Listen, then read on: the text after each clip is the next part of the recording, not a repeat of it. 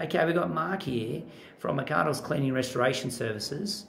You just did the uh, carpet cleaning, business building, and upholstery cleaning course over the last two days here. Packed full of information. I know you're new to the industry.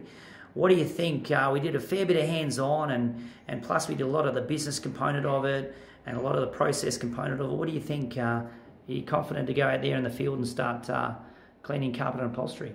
Yeah, definitely. Um, I love that it's more customer driven than pretty much any other trade industry that I've worked in in the past. So um, the business building really helps, just knowing exactly what's going on, how to quote, um, what to expect more so from my employer as well, really helped.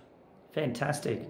Well, mate, uh, you've been a pleasure over the last uh, three days. With you've done the structural drying course and the carpet cleaning course, upholstery cleaning, business building, mate. Uh, mate, fantastic to have you uh, in the classroom last three days. It's been a pleasure, and uh, hope to wait and see you on the next one. Definitely. Thanks for having me. Thank you.